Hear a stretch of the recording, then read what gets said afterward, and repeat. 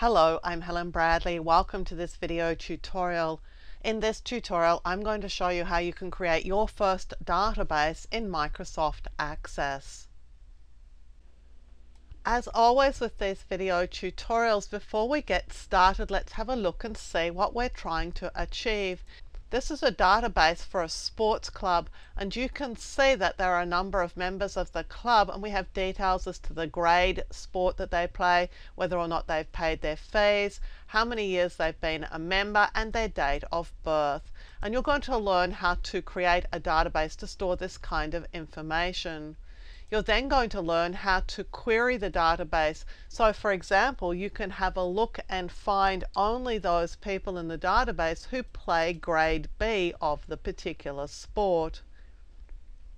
You'll also see how to create a form to make it easier to view the records in your database and also to add new people to the database. And finally, we'll have a look at creating a report that allows us to view the data from the database. So that's basically what we're going to do. So I'm just going to close that for now and let's relaunch Access to start Access much as you would start it if you were attempting this yourself. Now before we get started actually creating anything, let's have a look at the data. This is the data that's going into our database. And whenever you create a database, the first thing you need to do is to determine what you want out of it, because that's going to, to a certain extent, determine how you put the information into it. In this case, I want to be able to send an email, for example, to Jim Southdown. I want to be able to say, good morning, Jim, or hello, Jim. So I don't want Jim and Southdown put in the same field, because otherwise it would be very difficult to split it apart later on. It's much easier to have a field for first name and one for last name and stick them together when I want to have Jim Southdown appear as a single entity. Breaking things up is much harder than sticking them together. So basically, I'm going to create a database that has a first name and a last name, the grade that sport that this person plays, whether or not they've paid their fees, and that's going to be a special field called Boolean. I'm going to do that as a yes-no field, so you can enter it by clicking a checkbox, the number of years that they're a member, and their birth date. So let's just tuck this data away for now, and let's get started in Microsoft Access. So the first thing you're going to do when you're shown this screen when you launch Access is to click to create a blank desktop database. And you're going to give this a name. I'm just going to call mine Club. And I want to locate it somewhere on my hard drive. At the moment it's going into Users Helen document. I prefer to put mine into a folder called my data sources. Uh, I've just got a folder here called data sources, so I'm going to pop it in there and then click create. And Microsoft Access dumps me in this sort of table view. It assumes that I want to go ahead and start adding some data to the database. But in actual fact, what I want to do is I actually want to set up my database a little more intelligently than that. So I'm going to click here on view and I want to go into design view. To do that, I need to give my table a name. So I'm going to call this members and just click OK. And now we're in design view and here we can set up the database to be exactly what we want it to be. So I'm going to set up the fields and I actually don't want an ID field. If you don't want this ID field, just click on it and click to delete it. And it's gone. So my first field is going to be the first name field. Now, you'll get into trouble a little bit later on in Access if your field names have spaces and things in them. So I just jam everything together. So it's going to be a first name field and the kind of data it's going to have in it is text data and it's going to take the first name. Now the description is not only optional but it can also be English so you can spell it nice and correctly obviously. Now down here I want to mm, just lost that. Let's go back to first name field. Down here, I want to set the field size because 255 is a lot for a person's name. I think 20 is going to be more than adequate.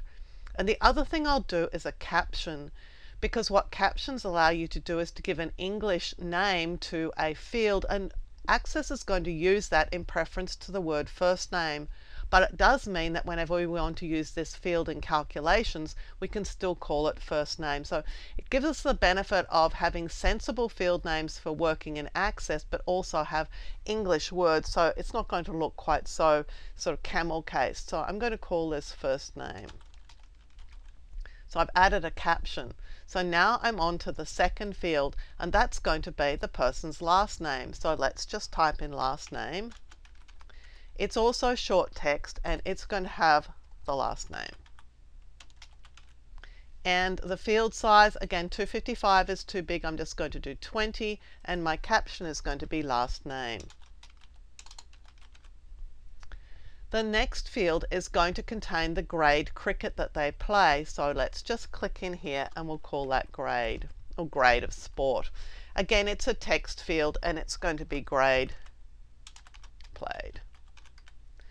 And the field size can be really small for this because it's only A, B or C, but let's just sort of make five so it's got a little bit of breathing space. And the caption, grade played. The next field is going to be for the fees, and so I'm going to call it fees paid. Again, all one word. Now this is a special field type and it's called Boolean or yes, no because that allows us to then select yes, the fees are paid or no, they're not. We're going to call this fees paid. And the caption, fees paid. And you can see that its format is a yes no field. You could have it as true false or you could have it as on off. It's sort of one of those fields that something might be true or false, yes or no, on or off. Yes and no is just fine for us. Now the next one is years a member. So we're just going to call that years a member. And this is going to be a numerical field because you can see that it's got numbers in it. So we're going to call it a number field. And down here we can set a field size. Now long integer is a huge number and we don't need it to be that long. So I'm just going to call it an integer field. That's a nice short field. And the caption is going to be years a member.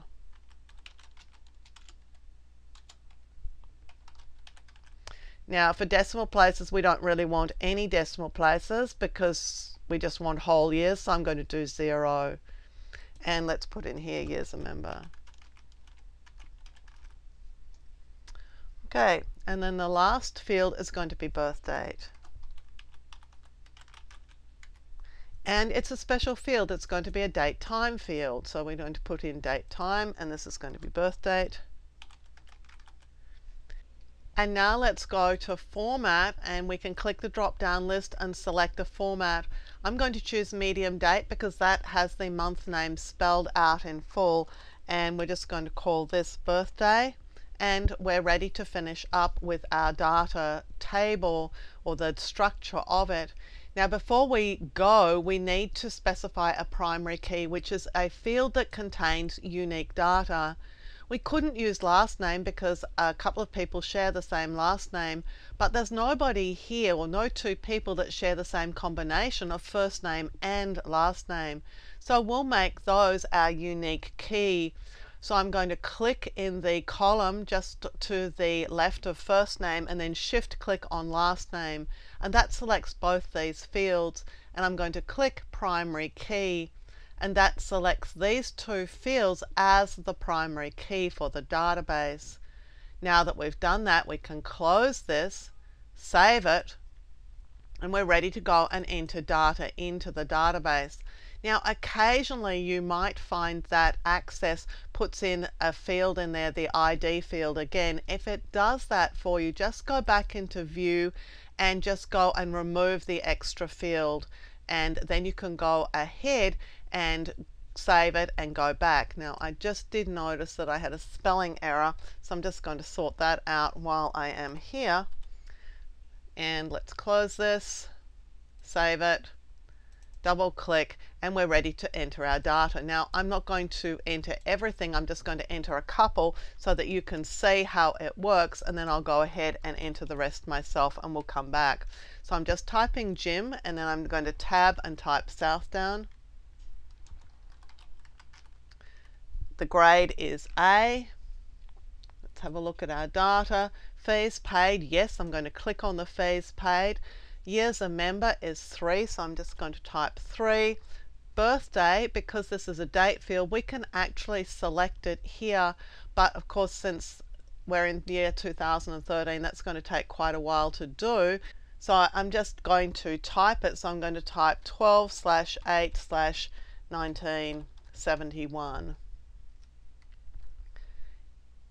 And then we can just make sure that the date is correct by reading it off. So we've got the month being spelled out in full and that's correct. So now let's go and add the next person Simon Amiet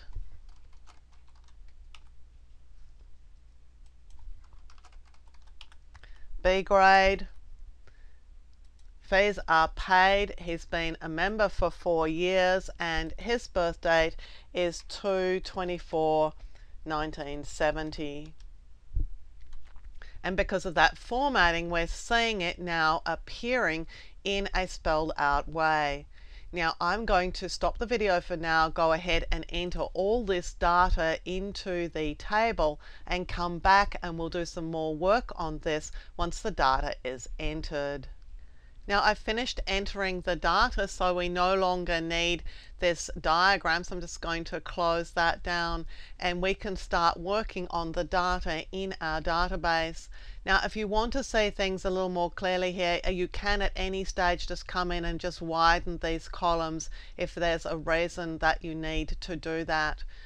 But now that we've got the data in, we can look at some of the things that we can do with it. For example, we can sort on order by a field. So we could sort into ascending order, for example, by last name. And so now all the entries are sorted in last name order.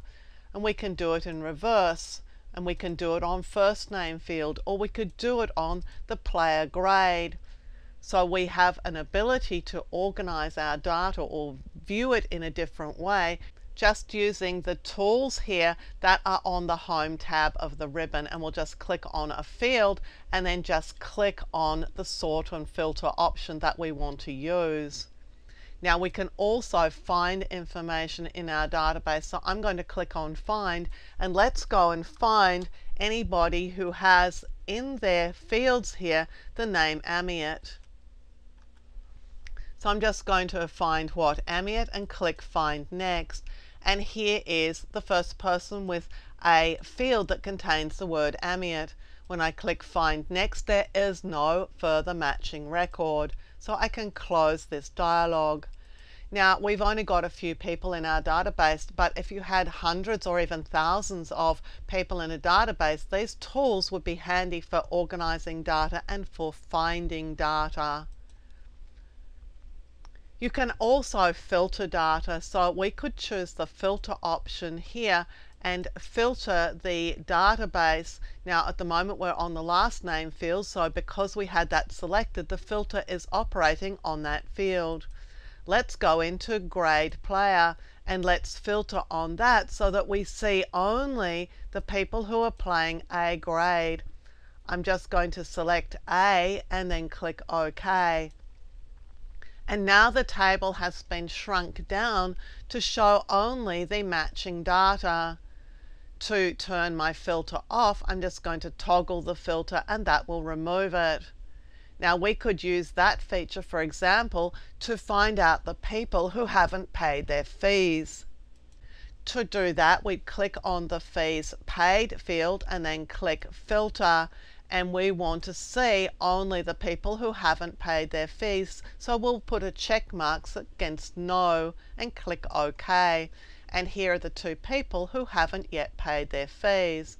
I'll click toggle filter again to remove the filter. So right now, this has got you started creating a database in Access In the next video in this series, we're going to have a look at writing queries and creating forms for our Access database, and then finally creating a report for the data in the database. But for now, you should be able to get up and running and create a table, enter the data into the table, and do some minor filtering, sorting, and finding of the data in your database table. I'm Helen Bradley. Thank you for joining me for this video tutorial.